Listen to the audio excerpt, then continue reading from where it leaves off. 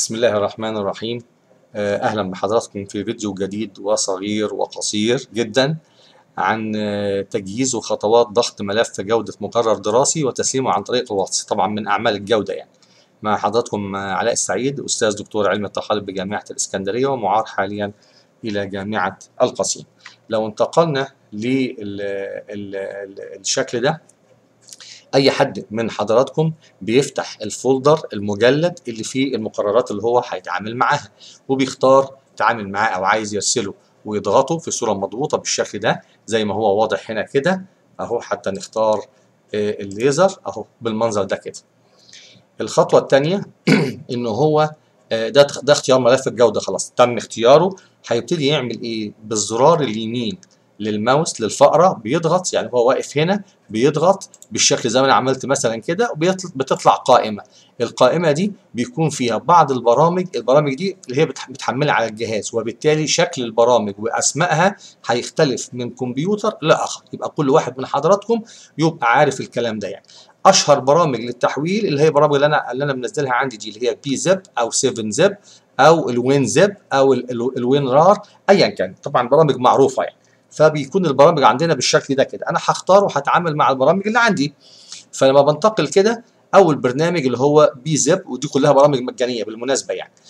بعد ما ضغطت بالزرار بزر الماوس الأيمن وطلعت لي القائمة اخترت البرنامج. بقى في عندي اختيارات بختار واحد من الاثنين دول اللي هو ال extension أو الامتداد بتاعه بيكون 7 zip ولا zip يعني ده الأكثر شيوعا يعني.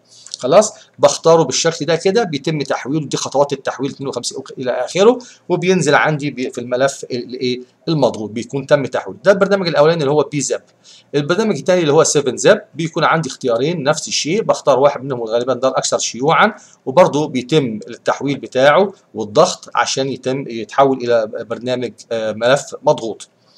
طبعا ساعتها هيبقى ملف مش هيبقى folder بقى هو folder مضغوط بس هتعامل معاه كوحدة واحدة يعني. البرنامج الثالث اللي هو الوين رار وده برضو برنامج مجاني بالشكل ده بنختار في اختيارات كتيرة؟ ده الاختيار اللي إحنا بنختاره. المهم في النهاية خالص ودي الخطوات بتاعة الضغط بتاعه. في النهاية خالص بيتحول المجلد عندي اللي أنا رسمه ده إلى شكل مضغوط أصبح معاه وحدة واحدة أقدر أشيله زي ما هو وأتعامل معاه. في نفس الوقت بنفتح الواتس على الكمبيوتر وطبعا ده كان في فيديو سابق وكلنا بنعرف نعملها. خلاص؟ فيبتدي يحصل إيه؟ يبتدي يحصل إن الملف ده بشده بقى بشده يعني إيه؟ بقوم جاي واخده بزرار الماوس الايسر كده وأقوم جاي شده في الواتس عند الشخص اللي هو المفروض إن هو إيه؟ هيستلم مني الملف. أهو بيروح بالشكل ده بيبقى خفيف بالشكل ده كده.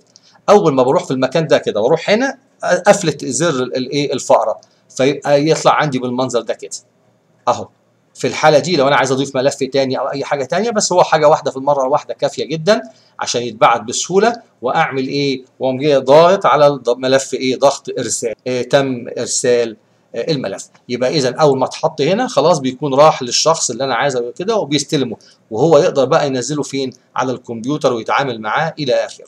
ده كان الشرح باختصار بسيط جدا أرجو أن يكون كان واضح للجميع إن كنت أحسنت في من الله وإن كنت أخطأت أو نسيت شيئا فمن نفسي. نرجو المعذرة إذا كان في أي تقصير أو حاجة يعني وبالتوفيق للجميع إن شاء الله. وحاضر لأي سؤال.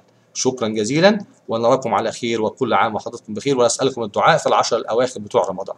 السلام عليكم.